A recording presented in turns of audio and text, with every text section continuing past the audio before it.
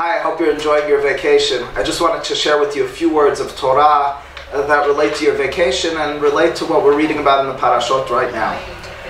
Did you ever wonder why in the Torah there are these circumstances in which there's this blank space? There's years in people's lives which just we know little about. Moshe's lifetime in Egypt, most of it in his early life, but then 60 years outside, 60 years in Midian, and we know little to nothing about those years. He returns and becomes that leader, of the Manhig Israel that we know he became.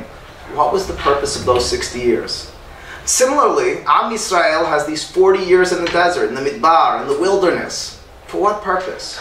Why not take us swiftly out of Mitzrayim, out of Egypt, and straight into Eretz Yisrael? Anthropologists talk about a concept known as a liminal space. A liminal space refers to a threshold of sorts. It means in between two stages in time, we need to necessarily pass through a transitional period. If we run into the next step prior to f- actually finishing and easing our way into the next one, we'll oftentimes stumble upon difficulties, uncertainties. We won't be able to adapt to the new situation, to adapt to the reality that we're now involved with. So, therefore, perhaps, the Torah presents for us in the life of Moshe prior to his leadership. Those 60 years, it was his transition of sorts. The 40 years in the desert was Am Yisrael's transition. Could we be the nation we wanted to be, coming from hundreds of years of slavery? without the preliminary stages of coming together, of becoming a nation that's unified in ideals and mission, we needed the Midbar for that.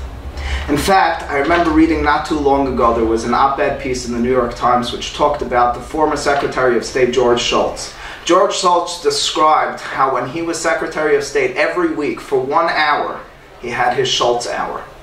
He would not allow anyone into his office. He would sit with a pad of paper in front of him without any interruptions, no phone calls, no meetings, no discussions or conversations with anyone else. It was the time for him to transition into the important things that he had to take care of in his life.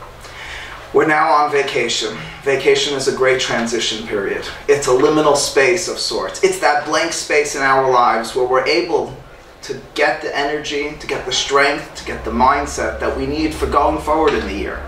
Instead of running forward, rushing forward from one half of the year to the next half, we have this blank space, this liminal period in which we can go through that threshold mindfully, understanding where we're going, deciding how to proceed in the coming year, and ultimately finding our own success. Enjoy. Take care.